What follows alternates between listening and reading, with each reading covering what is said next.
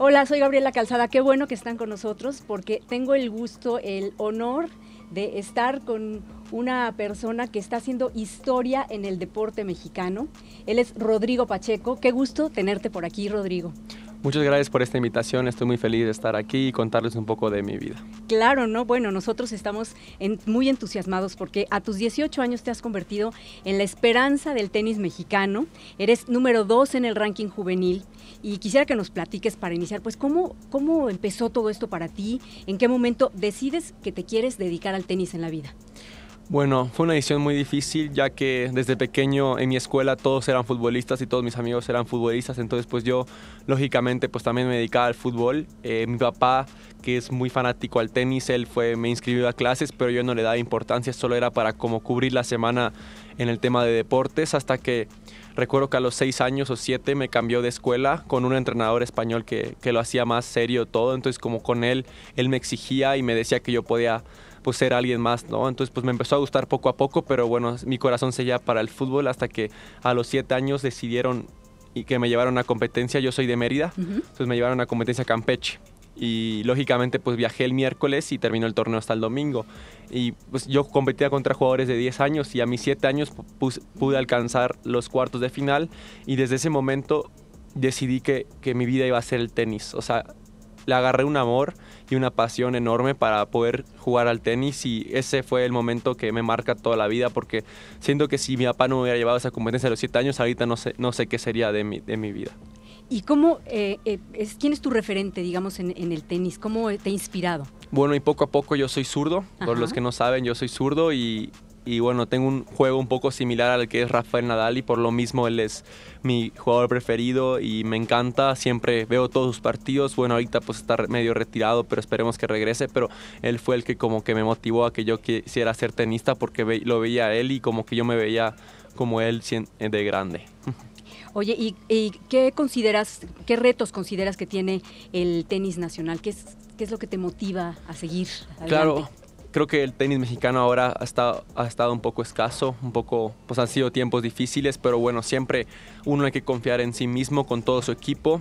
Vienen retos grandes para mí poder romper esos malos tiempos, lo cual lo veo muy, muy posible. Vengo haciendo las cosas muy bien y bueno, obviamente siempre humildes y respetando todo lo que es el tenis, pero bueno, yo poco a poco voy mejorando eso y rompiendo esa barrera que tiene el tenis mexicano para en un futuro darle esperanza a todo el tenis y que poco a poco vayan apareciendo muy buenos jugadores porque pues obviamente es un país con mucho talento en todos los deportes.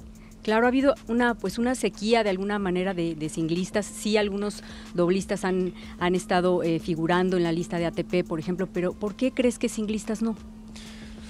Muchas cosas pueden pasar por eso. La verdad que no sé, no soy quien como para decirlo, pues no los conozco mucho. Puede ser a veces yo creo que por falta de ganas, por falta de, de coraje, de querer lograrlo, porque es un deporte que tienes que estar como 100% todos los días, todos los 365 días al año tienes que estar dispuesto a que tienes que sacrificar cosas por el tenis. Si no, pues otros mil jugadores lo sacrifican y es donde te dan te ganan por un paso o por, por un camino mejor, ¿no? Entonces yo creo que ahorita algunos jugadores mexicanos pues se conforman con muchas razones, entonces eso es lo que hace como que no pasen de, ese, de su barrera, porque una vez que rompes esa barrera pues ya puedes lograr lo que es el tenis a la cima del mundo, entonces yo creo que son muchos factores por lo cual a veces hay falta de, estos deportistas mexicanos, pero bueno, esperemos que poco a poco esto se vaya terminando, pues porque la verdad que en México a los 10, 2 años vemos muchos tenistas con mucho talento y después como que se van cayendo poco a poco porque pues a veces les gusta más la vida de un adolescente y por muchas razones, ¿no? Entonces,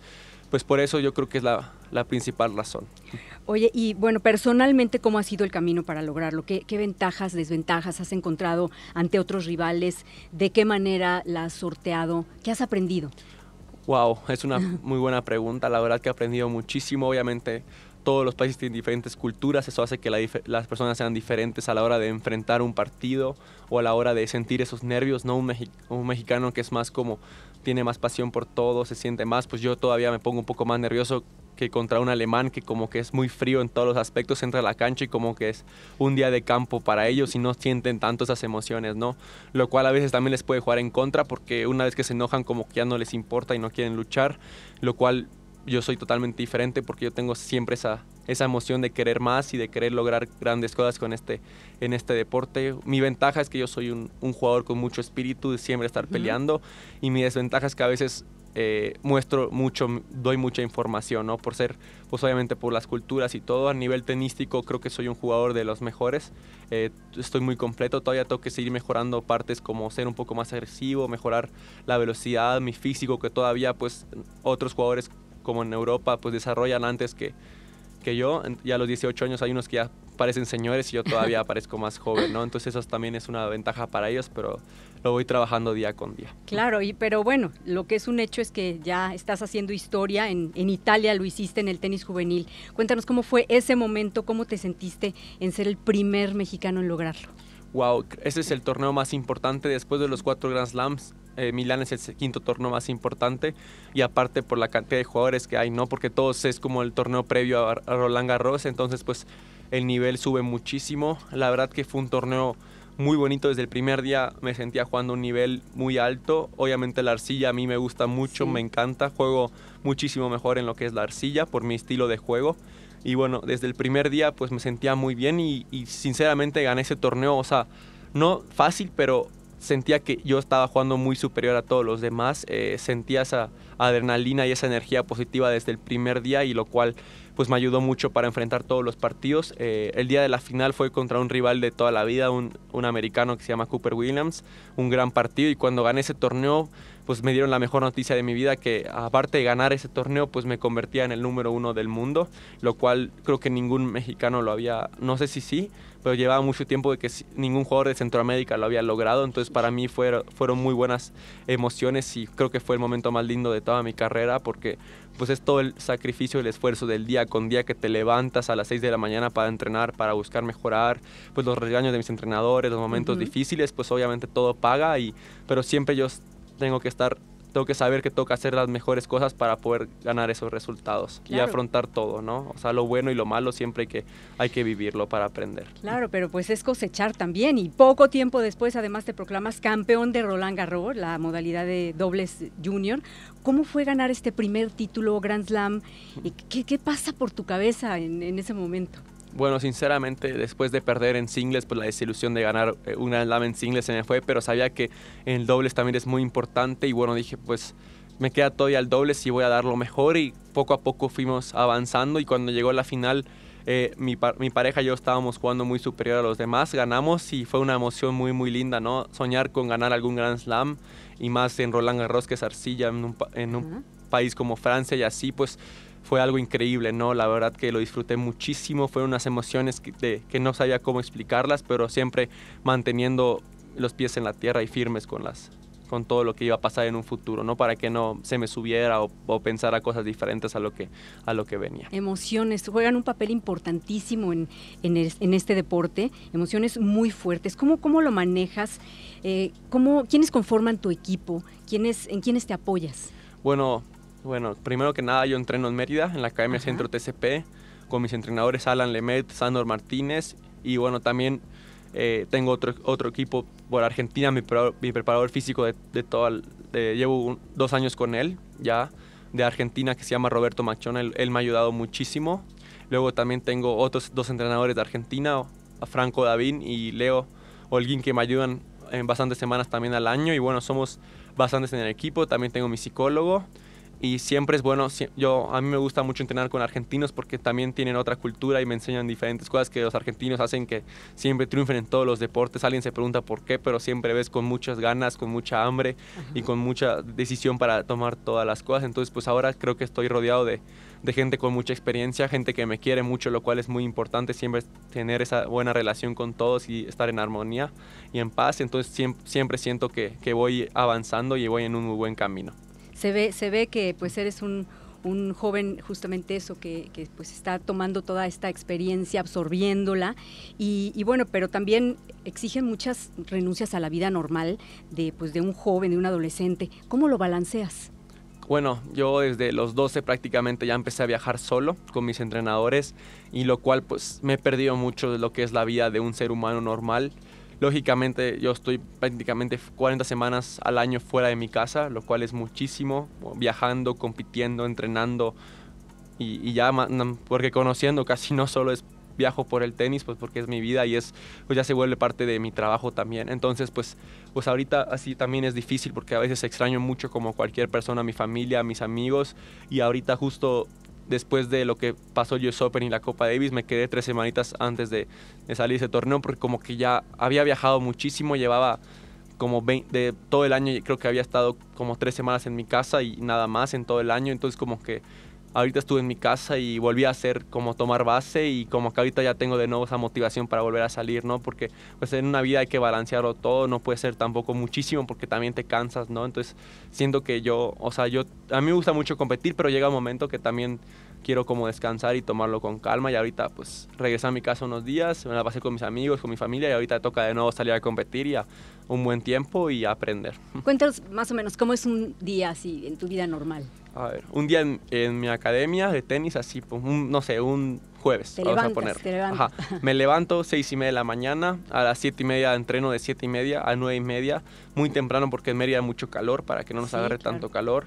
Después de nueve y media a diez y media hago mi físico, termino mi físico, me quedo a desayunar siempre con mis amigos en el club, termino de desayunar y me voy a bañar a mi casa, me baño, descanso un buen rato, eh, hago el almuerzo con mi familia, descanso después en la tarde y a las 6 regreso a entrenar de 6 a, a 8 a 7 y media y ya termina mi día y a veces pues o ceno en mi casa tranquilo, a veces salgo a cenar con mis amigos, depende que, que salga ese día, ¿no? Pero y después intento dormir temprano para el siguiente día lo mismo y ya después los, los en fin de semana pues es más familiar y con mis amigos y divertirme un rato. Claro. Oye, hay muchísimas expectativas, bueno, tienes una cantidad enorme de chavos este, que te admiran y, bueno, pero sabemos siempre que en la vida hay buenos, hay malos momentos. Eh, ¿Qué es lo que te motiva así, para seguir adelante en esos malos momentos? Lo que me motiva a mí siempre es que pues desde chiquito yo decidí esto y siento que si me bajo del, del barco en este momento siento que me voy a arrepentir por el resto de mi vida. Ya yo ya avancé muchísimo para, para arrepentirme yo soy alguien que siento que lo voy a dar todo para, o sea, intentarlo todo para lograrlo y si no lo logro mínimo saber que lo di todo, ¿no? O sea, nunca quedarte con, con eso en adentro de ti porque después te arrepientes en, en, el futuro y creo que soy alguien capaz de poder lograrlo y dar muy buenos resultados a nivel, a nivel mundial y para, para México, ¿no? Entonces, pues siempre en momentos malos sé que como toda la vida, pues nada, nada es para arriba, hay como una montaña a veces para abajo, pero después sabes que vas a subir más y esos momentos malos también te hacen aprender y mejorar como persona y como jugador para que en el futuro ya sabes cómo afrontar las cosas. Oye, ¿qué se siente saber que estás representando a México? Porque pues sabes que así todos cuando estás jugando, todos nos, o sea, somos, no ganaste y ganamos o perdiste y perdimos todos, todos estamos contigo. ¿Qué se siente? Pues obviamente a veces me genera un poco de presión, no te voy a mentir, obviamente saber que todo el mundo espera lo mejor de mí, ya que pues casi no hay jugadores mexicanos, entonces todos los ojos están siempre en mí, pero bueno, obviamente la presión siempre va a estar, hay que saber llevarla, hay que trabajarla, la estoy trabajando siempre porque a veces te juega en contra, pero también es algo que yo lo, yo lo veo de diferente manera también, yo lo veo como una motivación, ¿no? De que si ellos creen que yo puedo, pues, pues yo también, sabes que lo voy a dar todo y lo voy a poder hacer, ¿no? Porque obviamente uno tiene que creer mucho en sí mismo, siento que es lo principal. Eh, a veces eres muy bueno, hay jugadores que son muy buenos, pero no creen tanto en sí y eso les juega en contra porque en momentos importantes a veces te falla la, la cabeza, pero bueno, lo más importante es tener fe en ti mismo, en todo lo que hagas, saber que lo vas a hacer con buena cara y con buena disposición, ¿no? Y eso hace que también cuando llegas a, a, afrontar cualquier cosa en la vida, no tiene que ser el tenis, pues en el trabajo, si tienes fe y crees en ti mismo que lo vas a lograr, pues muchas veces se va a dar en esta vida, ¿no? Y si tienes el apoyo de todos los demás, pues es una energía muy bonita para seguir siempre para adelante. Oye, y dime una cosa, ¿y piensas o, sientes en algún momento que, que, lo que estás haciendo, cada cosa está inspirando a, miles de jóvenes? Pues espero que sí, o sea, yo siempre intento dar una buena imagen para todos los tenistas mexicanos en este país, los jóvenes que quieren dedicarse a eso, yo siempre les digo, siempre les digo que tengan mucha mucha pasión, que lo busquen, o sea, que nunca se rindan. Yo creo que, o sea, a veces un niño chico de 11 años en mi academia, pues le gusta mucho, pero veo cómo se frustra. Yo me acerco y les digo, pues tranquilo, sigue entrenando, que esto es muy largo, o sea, tanto como yo estaba a tu edad y créeme que tengo las mismas oportunidades que tú tienes, solo es cuestión de que te lo creas, de que vayas poco a poco buscando ese camino y, y pues siempre estar positivo, ¿no? De chico pues hay que disfrutar. Obviamente si yo disfruté mucho cuando estaba chico, lo cual eso me hizo siempre mejorar y verlo todo con buena cara. Entonces, pues yo siempre les digo que nunca se, primero que nada que busquen sus sueños. O sea, si ya, si ya soñaron de que lo vayan a, a buscar, porque muy probablemente se vaya a lograr, de que en esta vida nada es imposible, más, más de que si tú lo, te lo propones muchas veces lo vas a lograr, pues con toda la fuerza que tienes en, en tu interior. Entonces, pues obviamente todos tenemos las mismas oportunidades de empezar a jugar, de entrenar y, pues es, cada, es más cada quien, ¿no? De que si tienes las ganas, hazlo y, y pues aprovecha cada momento para seguir mejorando, que te, te, pues, te aseguro que lo vas a lograr en un futuro. Y ya que, ya que mencionas los sueños, ¿cuál es tu sueño en este momento? ¿Cómo te ves dentro de cinco años, por ejemplo? Dentro de cinco años va a tener 20 ¿Tres? Tres. Pues ya me gustaría verme ya compitiendo contra los mejores en los Grand Slam, lo cual yo creo que es muy, muy posible, pero más que nada siempre mejorando todos los días lo que me hace falta, top, tapando esos huecos en mi juego para que en un futuro ya esté mucho más completo y ya pueda estar ahí compitiendo contra los buenos y ya entre los primeros 50 si se puede del mundo, lo cual yo lo veo muy, muy posible a mis 23 años. Seguramente sí. Y bueno, pues también fuera del tenis, ¿qué, qué te gusta, qué te apasiona, eh, a qué dedicas pues el tiempo que te queda libre? Pues intento regresar a mi casa, pasar tiempo con mi familia, me gusta mucho pues pasar tiempo con mis amigos, ¿Qué la música, música. te gusta? Me gusta, ahorita le, le, agarré mucho el gusto a la música electrónica, Ajá. porque muchos amigos escuchan eso y como que eh, ya me cansé un poco del reggaetón, entonces ya como que le agarré mucho a la música electrónica, me gusta mucho, me gusta mucho salir con mis amigos y escuchar música electrónica y pues ya un, un niño normal de 18 años, ¿no? Eh, eso me gusta, también me gusta de repente, eh, ¿qué más? Viajar, o sea, salir con mis papás a conocer lugares, de que por ejemplo ir a de Mérida me gusta mucho ir a cenotes y cosas así, como que salir de, de esta área del tenis, ¿no? A la naturaleza. Exacto, me encanta, a mí me gusta mucho ir a la playa, me gusta cuando cada vez que puedo voy a pescar, me gusta mucho y como que sentir actividades diferentes a las que no tengan nada que ver con el tenis como para olvidarme un rato, ¿no? Porque siempre es lo mismo y lo mismo. Claro, yo, yo hablaría aquí, por ejemplo, eh, de lo que se necesita, pues obviamente es eh, perseverancia, pero digamos, ¿qué otras características, valores tiene, tienes que tener como para, justo para seguir este camino y, pues llevarlo adelante? Pues yo siempre me dicen que tenga mucha humildad, siempre escuchar a, a, los mayores porque ellos siempre son más, más sabios y siempre aprender, ¿no? La humildad creo que es algo muy importante en todo, ser abierto, escuchar, aprender. Eh, también pues obviamente el valor de, de la disciplina, o sea, ser muy disciplinado, estar consciente de lo que tienes que hacer. A veces hay que sacrificar cosas para, para poder obtener otras cosas en el deporte. Como usted mencionó, la, uh -huh. la perseverancia es también muy importante. Eh, y pues yo creo que todos los valores infligen mucho en el deporte y el deporte también te da muchos valores, ¿no? El valor siempre de ser como, como decir, pues es ser sencillo, nunca, nunca mostrarte de más con los demás, porque pues al fin y al cabo eres otra persona más, entonces pues y, y, el deporte pues te enseña mucho en la vida. A mí me ha enseñado mucho a, a, convivir con otras personas en otro mundo, son diferentes, a aprender, a poder viajar solo, ser in, independiente. Entonces pues, pues me, ha, me, ha, me, ha, gustado mucho lo que he aprendido y, y, bueno, espero seguir recorriendo y aprendiendo nuevas cosas. Me imagino que son emociones muy fuertes. ¿Cómo lo manejas? ¿Quiénes conforman tu equipo? ¿En quiénes te apoyas? Bueno, ahora que nada estoy muy feliz y agradecido porque tengo un equipo muy grande que me quiere mucho y siempre me ve a futuro uh -huh. y me está apoyando mucho para poder alcanzar mis metas, ¿no? Obviamente mis entrenadores de, de hasta arriba que son Alan y Sandor Martínez de la Academia Centro TCP, mi preparador físico Tim Machone, Roberto que ha estado los últimos dos años conmigo trabajando del día con día a tope. También agradecer mucho a mis entrenadores de Argentina que me han ayudado mucho este último año, que he aprendido mucho con ellos, Franco Davini y Leonardo Holguín, muy agradecido con ellos también porque son muy íconos en el tenis y como entrenadores son más. Y también ahorita tengo la oportunidad de representar a, al equipo de Telcel y Calidra y, y, y Aeroméxico que me apoyan para al alcanzar mis sueños, porque sin la ayuda de ellos nada de esto sería posible. La verdad que Terciel y Oppo y ellos han estado al pie del cañón conmigo y ellos creen en mí como yo también en mí. O sea, los agradezco mucho por todo su apoyo y por, por creer y por confiar en que voy a poder lograrlo en el futuro. Y a mí me ha gustado muchísimo poder platicar contigo. Eh, te ves te, a la hora que, que pues he podido ver algunos de, tus partidos, eh, pues justamente eso, ¿no? Esta eh, joven que, con esta naturalidad y pasión sobre todo por lo que haces. Y claro que vamos a estarte dando seguimiento como miles y millones de mexicanos. Te deseo todo el éxito del mundo. Seguiremos platicando. Muchísimas gracias, Rodrigo Pacheco, a nombre de Uno TV por esta entrevista, por dedicarnos este tiempo. Muchas gracias a todos, a Uno TV, por, por la oportunidad de darme de poder compartir un poco de mi vida, lo cual a mí es muy importante y espero que más gente me vaya conociendo poco a poco. Muchas gracias.